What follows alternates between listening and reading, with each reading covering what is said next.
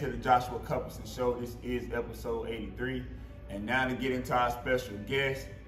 She graduated from New Bern High School in 1995, played basketball, played ran track, and now she has her own gym in the Greenville Mall, and I'm gonna let her tell y'all what she teaches.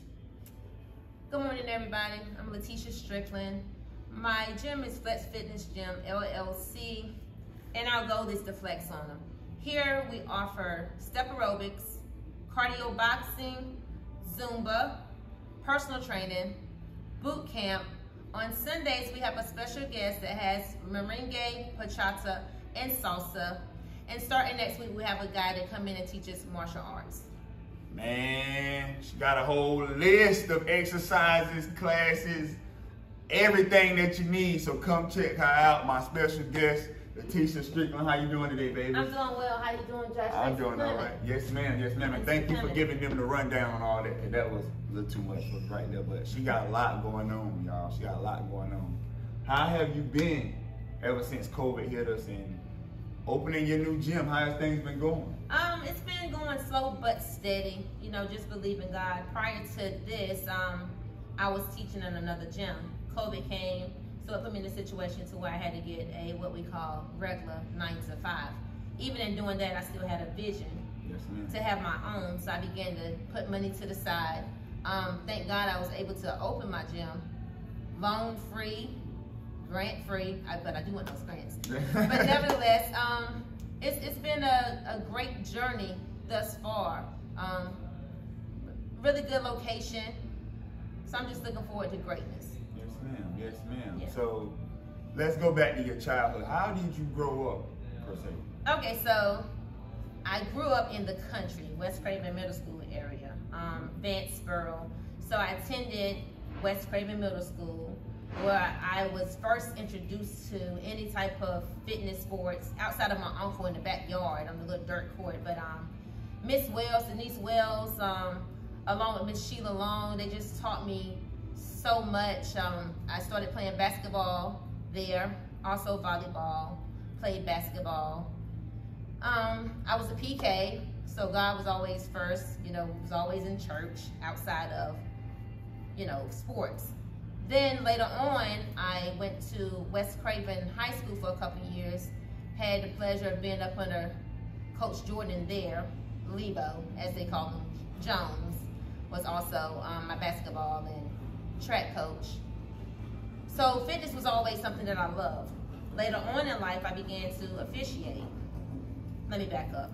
Before I mm-hmm. began to officiate, I was teaching Zumba in Bertie County.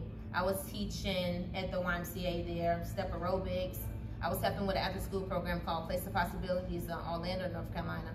So these are the things that led me up to being where I am now, to give me the motivation, the encouragement to do the things that I do. So after that, I began to officiate.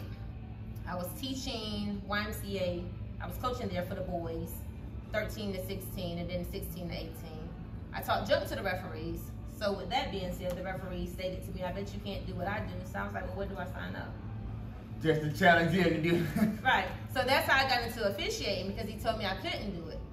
So of course, once I began officiating, I realized I knew nothing as a player about officiating, nor did I know anything as a coach because I, I had to learn positioning and th- different things of that nature.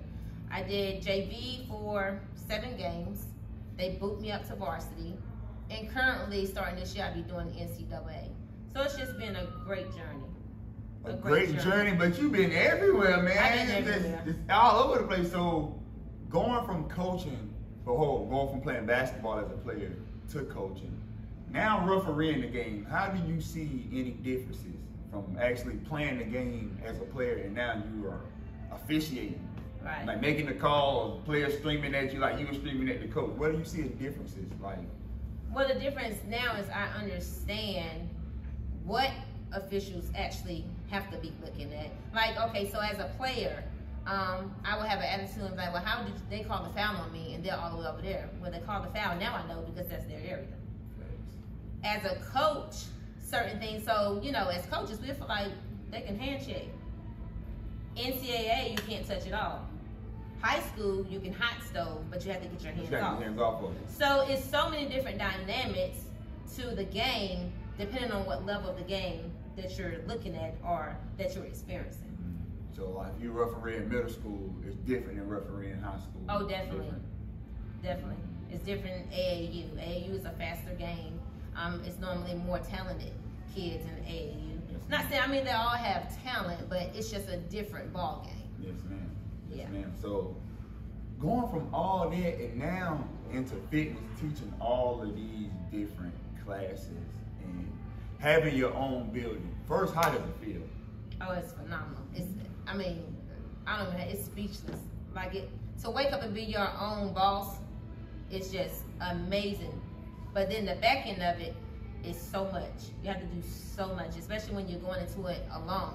You have to be the fitness instructor. You have to be the owner. You have to make sure the bills are paid. You have to. I mean, it's just so much, but it's worth it. Yes, ma'am. It's yes, worth it. ma'am. Yes, ma'am. So, what was the first thought that came to mind when you said, "Hey, I want my building"? What was what was the the mindset, the foundation of you just like, "All right, I'm tired of this.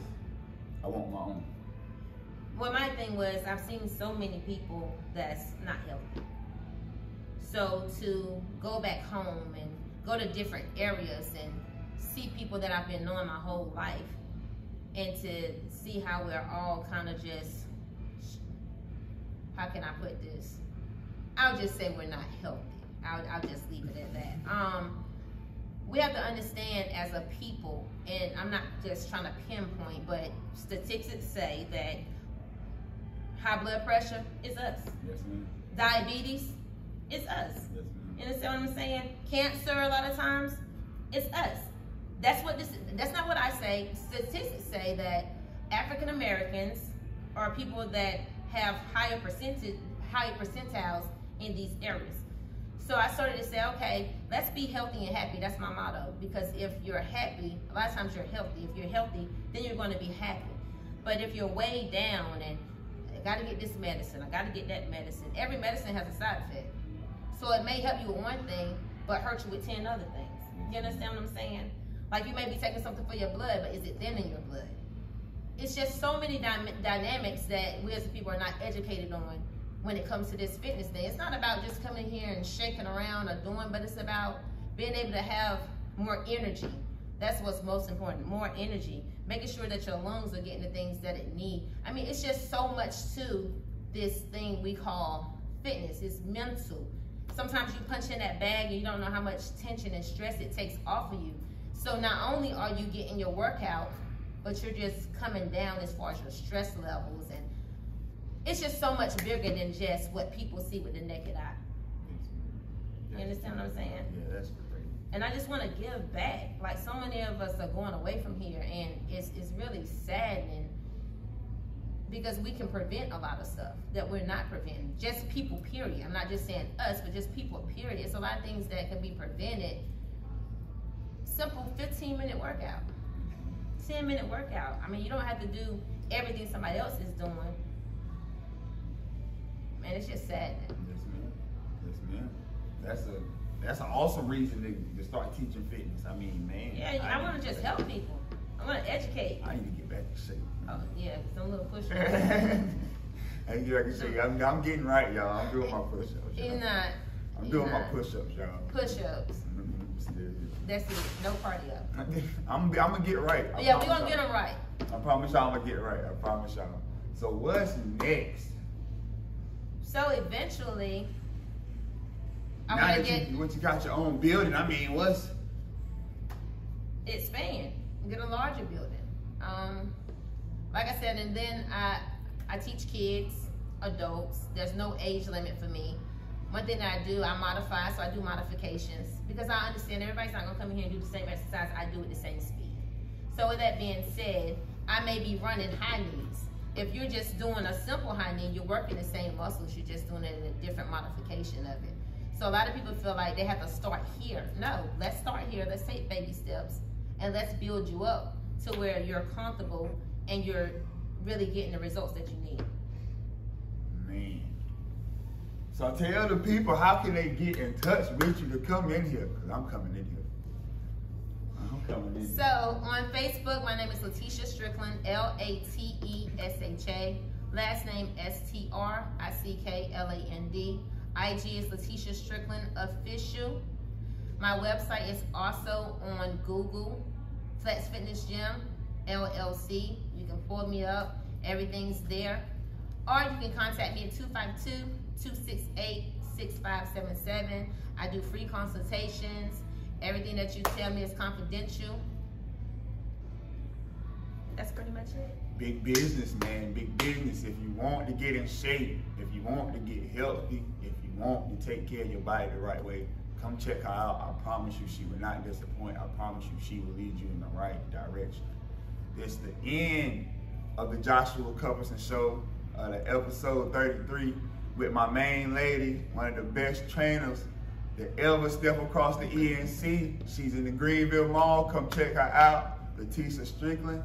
We out. Come get this work. Thank you everyone for watching the Joshua Cuthbertson Show. I appreciate your love and support. Continue to show your love and support by clicking the subscribe button below the video. Tune in to next week's episode of the Joshua Cuthbertson Show. Love, peace, we out.